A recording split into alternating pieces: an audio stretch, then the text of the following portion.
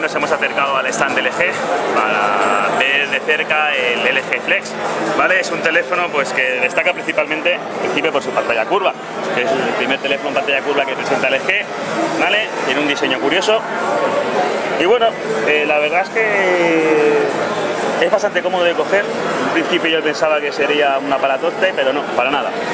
Eh, la ventaja principal de ese tipo de pantalla ¿vale? es que el rango de visión es bastante más alto, ¿vale? es muy cómodo en el uso, en el sentido de que, por ejemplo, si yo estuviera haciendo una llamada y quisiera pues, hablar, es tan sencillo como te lo pones y si te fijas coge la forma.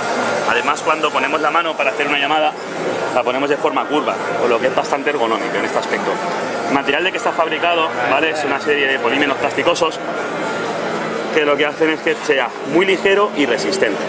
Además tiene una capa de pintura plástica alrededor, ¿vale? Que le protege contra rayaduras. En el caso de que lo arrasques con un cúter, pues no, la marca se quedará. Pero en el caso de que utilices algún otro tipo de material, pues este se regenera, ¿vale? Como luego comprobaremos en este vídeo. Pasando a las especificaciones técnicas, nos encontramos con un teléfono en una pantalla de 6 pulgadas, ¿vale? Con tecnología POLED, que lo que hace es una resolución de 720, ¿vale? Una calidad bastante buena. Cuanto al procesador, bajo el capó del LG Flex nos encontramos con un procesador Qualcomm Snapdragon 800 a 2,2 de potencia.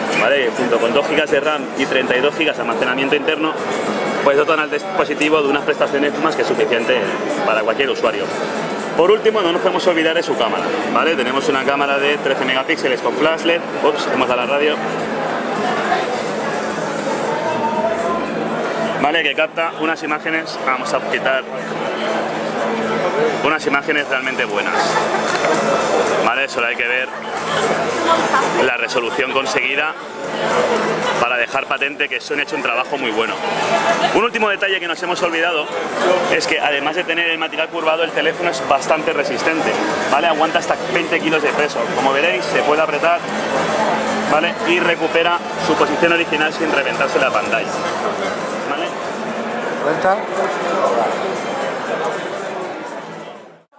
eh, como os hemos comentado, vamos a ver la resistencia que tiene la, tapa trasera del LG y tenemos una compañera que nos hacer una demostración. En primer lugar, aquí tenéis una tapa convencional, que está totalmente rayada.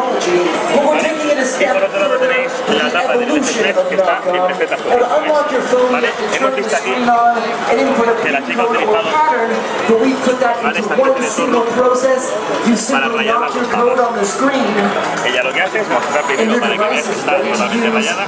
Pues, por ejemplo, pasaría pues, si lo pones con las llaves o te lo pones en el bolsillo. ¿Cuál es la solución? Muy sencilla. Tan solo la va a acercar a la fuente de calor.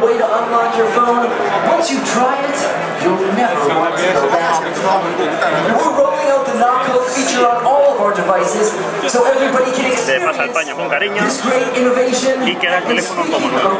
Esto es principalmente motivado por la pintura plástica que lleva, ¿vale? Eh, basada en la tecnología que utilizan los coches de gama alta ¿vale? y que los resultados son sencillamente increíbles.